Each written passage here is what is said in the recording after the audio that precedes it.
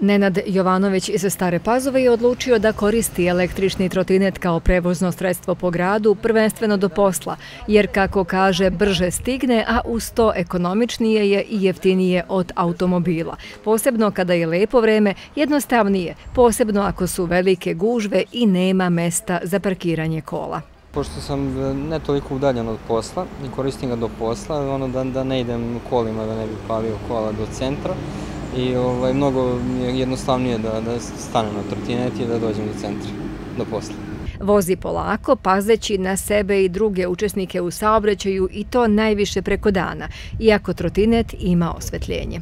Po specifikaciji može 25 km na sat, ali mislim da je to previše za, za njega. Iako nisu jeftini, električni trotineti koštaju preko 50.000 dinara, isplate se nakon nekog vremena ako se koriste svakodnevno, saznajemo od našeg sagovornika. Nacrtom zakona koji je u pripremi trotineti će biti definisani kao laka električna vozila i time će se postaviti pravila za one koji koriste ove dvotočkaše na električni pogon. Jedno od pravila je da se ovo vozilo kreće po pešačko-biciklističkoj stazi ili biciklističkoj traci.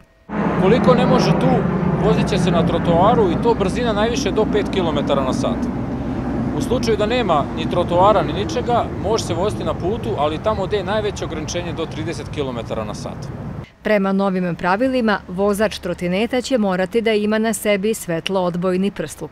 Treba da koristimo pešačku biciklističku stazu ili biciklističku traku ako ima. Ako se zaista krećete na trotoaru gde prednost imaju pešaci, zaista vozite ga što sporije. Dakle, on jeste dobro vozilo, jeste savremeno vozilo, koncept ekološkog bezbednostnog aspekta, ali moramo da vodimo računa o ostalim učestnim saobraćaju koji imaju prioritet.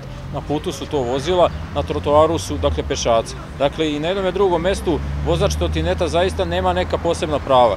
I on mora, da kažem, ustupi prvenstvo drugim vozilima u saobraćaju, ali opet mora da čuva i druge učesnike u saobraćaju. Električni trotinet je namenjen isključivo za prevoz jedne osobe. Profesor dr. Đorđe Vranješ apeluje na sve korisnike ovog prevoznog sredstva da poštuju pravilo i da nikako na njemu ne prevoze decu.